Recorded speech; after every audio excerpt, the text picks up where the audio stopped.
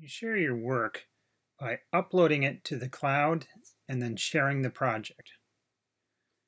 First step is you're going to upload the work. So in the project, you open the drawing,